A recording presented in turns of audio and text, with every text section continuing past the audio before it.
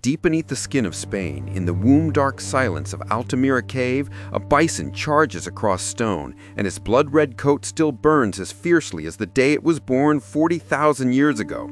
This is no ordinary pigment.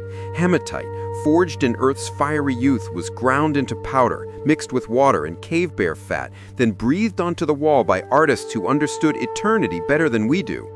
While modern paints fade in decades, this prehistoric ochre laughs at time. Its iron oxide crystals lock color so perfectly that ultraviolet light, moisture, and millennia barely scratch it.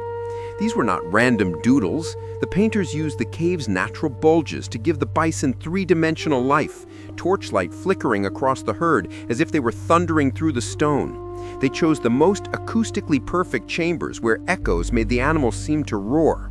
Tell me, when you stand before something that outlived empires, ice ages, and every human who ever saw it fresh, doesn't your own heartbeat feel suddenly fragile?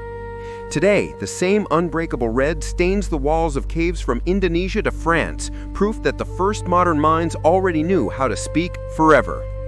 Chronicles of the Curious Earth, where curiosity becomes cinema.